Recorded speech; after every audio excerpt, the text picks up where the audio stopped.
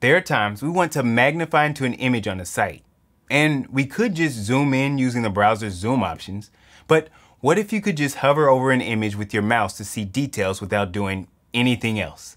In this lesson, we'll show you how to add this to your site using the power of custom code without coding. And we're going to do this in three steps. First, we'll add the custom code to our page settings. Then, we'll add the class name of the images we want to magnify in our custom code. And finally, we'll style our magnifier to get it looking however we want. Let's begin with the first part, adding the custom code. This is the GitHub page for the plugin. It's where we can get the custom code by downloading the script files. But to simplify this, we provided the custom code for you to copy in the description of this lesson. Once you've copied that, we can now paste that into our project. And there are two ways we can do this. We can add this to the entire project, or we can add this to an individual page. For pasting this in the entire project, go to your project settings and under custom code, paste the custom code into the before closing body tag section and save.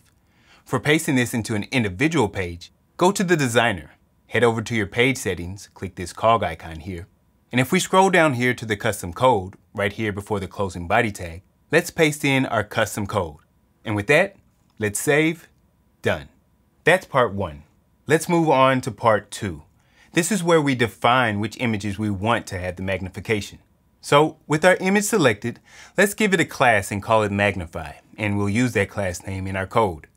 Now, let's go back into our page settings, scroll down to our custom code section, and right here, right in between these quotes, we can enter in the class name, adding dot .magnify here. Click Save.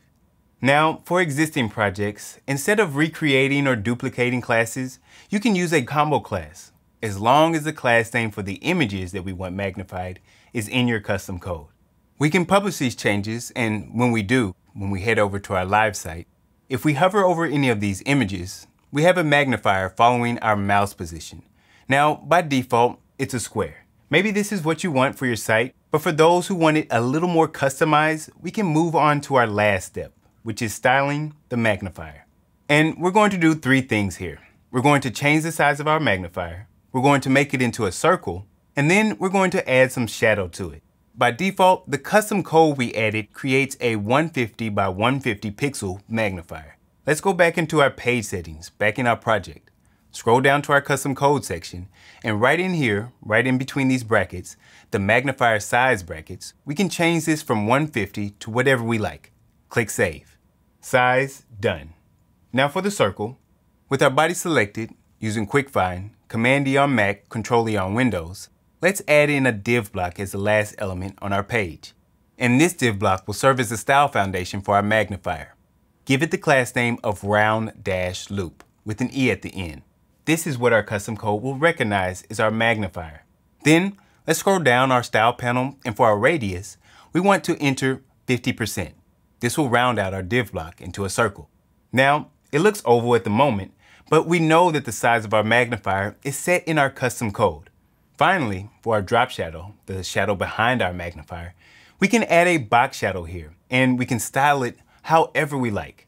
And one more thing before we preview this, we don't want this div block actually visible at the bottom of our site. We only want to use it for our magnifier. So what do we do?